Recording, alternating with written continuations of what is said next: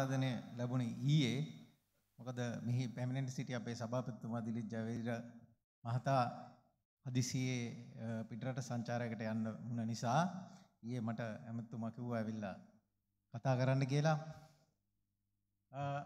මට පුදුම ආඩම්බරයක් හිතුණා මේ කොල්ලෝ ටික දැක්කහම මේ අපේ රටේ ශක්තිය නේද කියලා. ආසනාවකට එතන කෙල්ලෝ හිටියේ නෑ කොල්ලෝ විතර හිටියේ. ඒත් පුදුම ආදර පුදුම ආඩම්බරයක් දැනුණා. දැන් අපි අහලා තියෙනවා මේ ලංකාව ගොඩක් ණයයි කියලා. ඔබ උඹලා දන්නවද ලෝකේ ණයම වැඩියෙන්ම ණය තියෙන රට මොකක්ද කියන. ණය කියන්නේ මෙහෙමයි. ණය වලට නිර්ණායකයක් තියෙනවනේ. ණය කියන්නේ දළදේශීය නිෂ්පාදනයෙන් ප්‍රතිශතයක් ඇටියට ණය. එතකොට අපි Google කරලා බලන්න පුළුවන් ඔකේ රෑන්කින් තියෙනවා. ඩෙට් රෑන්කින්. ඒ රෑන්කින් වල ඉහළින්ම ඉන්නේ මොකද්ද රට? අපි දන්නවනම් කියන්න බලන්න. හරි මං කියන්නම් ඒ ඉහළින්ම ඉන්න රට තමයි ජපානය. 100ට 200 ගාණක් දළදේශීය නිෂ්පාදනයෙන් ණය. හැබැයි ජපානයේ ණය මෙහෙමයි වැඩිපුර ණය ඩොමෙස්ටික්. ඒ කියන්නේ දේශීය ණය තමයි වැඩිපුර තියෙන්නේ. ඒ කියන්නේ ජපානයේ රජය ජපානයේ ජනතාවට ණයයි.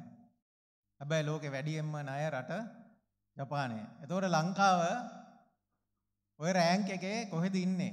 මට මතක හැටියට 83 වෙනි හරි 84 වෙනි ස්ථානයේ. ඒ කියන්නේ වැඩියෙන්ම ණය රට එක නම් 100 රටවල් 190 ගාණක් අතරේ අපි මැද්ද හරියේ ඉන්නේ.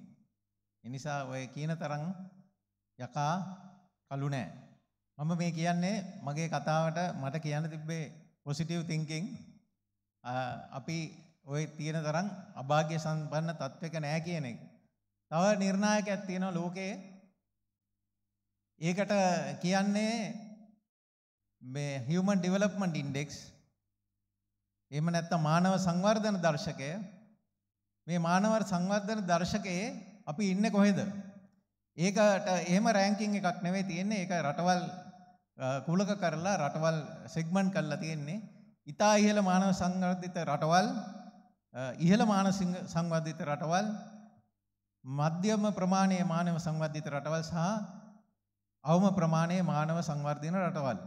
එතකොට මේ රටවල් අතර අපේ ලංකාව තියෙන්නේ ඉහළ මානව සංවර්ධිත රටවල් අතර. ඉතා ඉහළ නෙවෙයි ඉහළ. ඊට පස්සේ බලපුහාම අපේ අසල්වැසි ඉන්දියාව එහෙමෙන්නේ මධ්‍යම මානව සංවර්ධිත රටවල් අතර. ඒකත් අපිට සුබදායක ආරංචියක්. එතකොට මම මේ මේ හේතු කිව්වේ යකා ඔය කියන තරම් කලු නෑ කියලා කියන්න. මට මේ තරුණයෝ දැක්කම මතක් වුණා අපි ඊට කලින් પરම්පරාවේ අපේ પરම්පරාවේ අපිට මේ අන්තර්ජාල පහසුකම් අරහෙ මෙහෙ තිබ්බේ නෑ. අපේ પરම්පරාවෙත් අපේ දෙමව්පියෝ මගේ පියා විදුහල්පති කෙනෙක් මව ගුරුවරියක් මමත් කුරුණෑකල පත්තේ හද්දා පිටිසර ගමක අපේ දෙමව්පියෝ දැනගෙන හිටියේ රජ්ගේ රැකියාව විතරයි. එතකොට ඒගොල්ලන් දැනගෙන හිටපු රැකියාව අතර තව තිබ්බේ දොස්තර, ඉංජිනේරු, එහෙම නැත්නම් ලෝය. ඒවා විතරයි දැනගෙන හිටියේ. මගේ පියාගේ પરම්පරාව කලා උපාධි කරලා ගුරුවරු බවට පත් වුණා.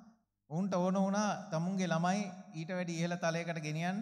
ඒ නිසා අපේ ලේවල කලාව තිබ්බත් අපිට බලාත්කාරයෙන් විද්‍යාව කරන්න කියලා ඒ ලෙවල් අපිත් දැනගත්තා.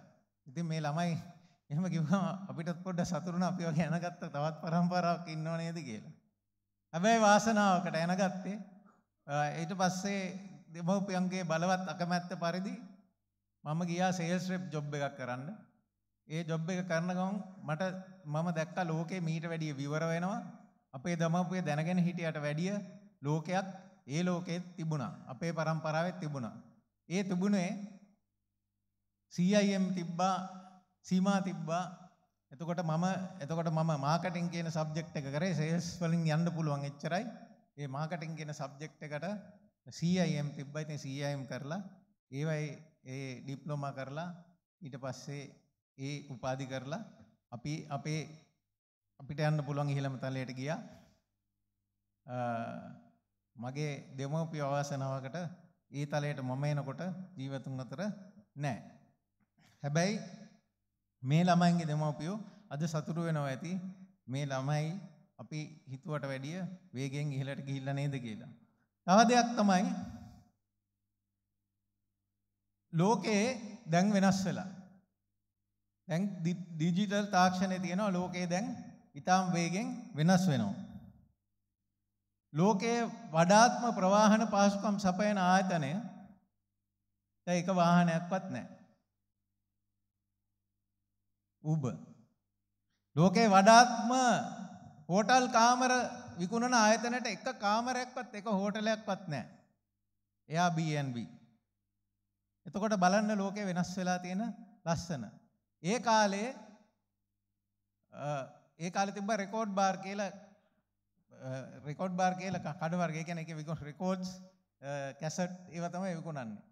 එක එක පාරක එක වීදියක එක රෙකෝඩ් බාර් එකක් දැම්මොත් ඒ විදියේ දිගටම පහුවෙන්ද බලනකොට රෙකෝඩ් බාර් මොකද ඒ රෙකෝඩ් බාර් සාර්ථක වුණොත් මුළු ඔක්කොම රෙකෝඩ් බාර්. ඊට පස්සේ එක රෙකෝඩ් බාර් එකවත් සෙනග නැහැ අරවා සෙනග බෙදාගෙන බෙදලා ගිහිල්ලා. හැබැයි මේ ඩිජිටල් අවකාශයේ තියෙන වෙනස මෙච්චරයි.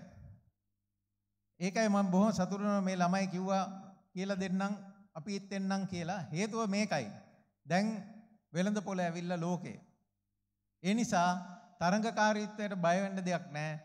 කොච්චර කරත් අපිට අල්ලන්න බැරි තරම් විශාල වෙළඳ පොළක් ලෝකේ තියෙනවා. ඒ නිසා මේ හබ් එකට ඇවිල්ලා තම එක එක්කෙනාට උදව් කරගෙන තමුන්ගේ ඉදිරි ගමන සලස්ස ගන්න පුළුවන් කාටවත් වල කපන්න ඕනේ නැහැ. ඉස්සර තිබ්බනේ වල කැපීම ක්‍රමය. දැන් වල කැපීම අත්‍යවශ්‍ය නැහැ. ඒ නිසා මේ සහයෝගය දැක්කහම අපිට පුදුම ආසාවක් පුදුම ආඩම්බරයක් හිතෙනවා.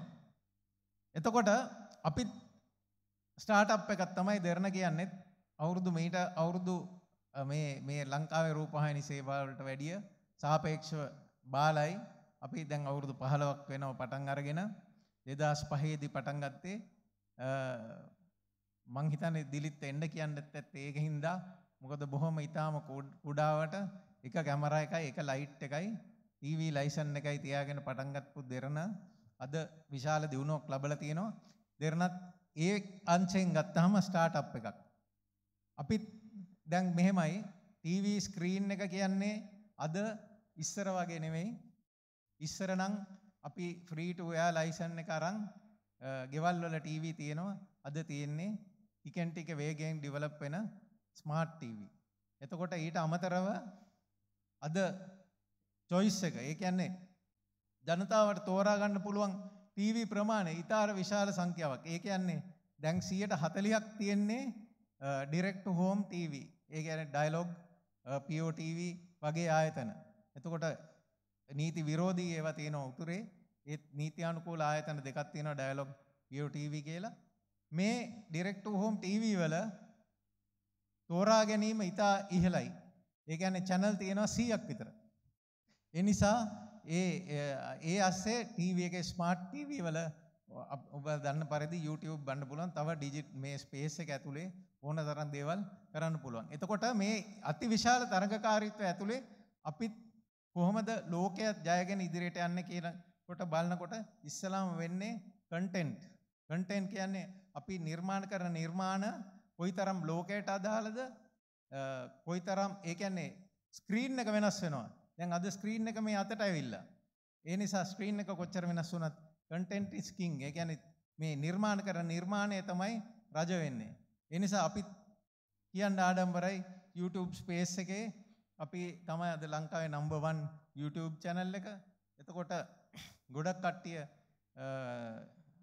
මං හිතන්නේ දන්නවා අපි ටෙලිනාට්‍යවල වැඩිපුර ආදායමක් අද උපයන්නේ YouTube එක හරහා. මොකද YouTube එකේ මං හිතන්නේ මේ ළමයි දන්නවා ඇති පිටරටින් නරඹනවට කොට views වැඩියෙන් පිටරටින් ආවොත් වැඩි ආදායමක් අපිට ලැබෙනවා. අනිත් එක ඒ ලැබෙන්නේ විදේශ විනිමය. ඒ කියන්නේ අද අපේ ටෙලිනාට්‍ය ක්ෂේත්‍රයේ ටෙලිනාට්‍ය අද විදේශ විනිමය උපයනවා. විදේශ අද බැලුවොත් ඉතාලියේ ඉතාලියේ පළවෙනි ට්‍රෙන්ඩිං 50 ඇතුළත බොහෝ අවස්ථාවල අපේ ටෙලිනාට්‍ය තියෙනවා. මං කියන්නේ ඉතාලි කාරයෝ බලනව නෙවෙයි. හැබැයි මං හිතන්නේ ඉතාලියේ ඉන්න ඉතාලියේ ඉන්න ලංකාවේ කට්ටිය බලනවා. හැබැයි මම දන්න පරිදි ඉතාලිය යෝ කීප දෙනෙකුත් බලනවා අරගොල්ලන්ගේ ළඟ නේබර්ස්ලා හරි මේ පුරුදු වෙලා. ඉතින් අනිත් එක තමයි අපි දන්නවා මේ ලෝකයේ තව දේවල් ඩිජිටල් අවකාශයේ තව තියෙන පිටපේන අවස්ථාවන් අපේ ක්ෂේත්‍ර තුළ තියෙන අවස්ථාවන් තව එකක් තමයි ඇනිමේෂන් කියන්නේ.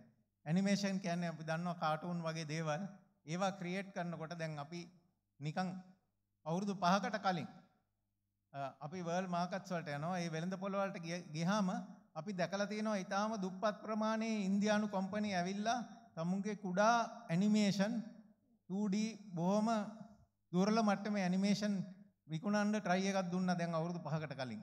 හැබැයි දැන් අපි අවුරුදු 5කට පස්සේ බලපුවම මේගොල්ලෝ දැන් අද හොලිවුඩ් වලට වැඩ කරනවා. ඇනිමේෂන් තමුන්ගේ ස්ටාෆ් එක 1000ක් විතර ඉන්නවා.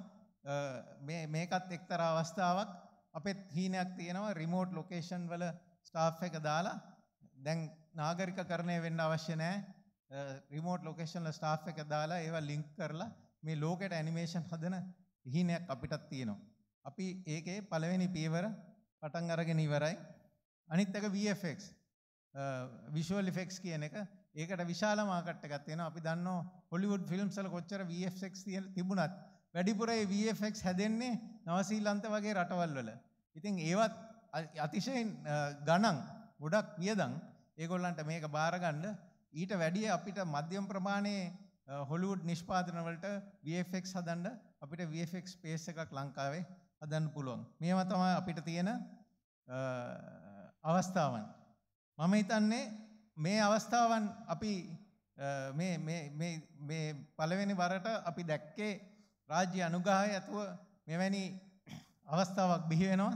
මෙන්න මේක තමයි අනාගත ලෝකය මගේ අදහස නම් අපේ ලංකාවේ ළමයි තව අපි ජීවත් වෙන කාලය ඇතුළතදී අනාදේ අනාගත ලෝකයේ ජයගනී කියලා. මට මේ අවස්ථාව දුන්නාට මම ඇමතිතුමාටත් මේ සංවිධායක මණ්ඩලයටත් ස්තුතිවන්ත වෙනවා බොහොම ස්තුතියි.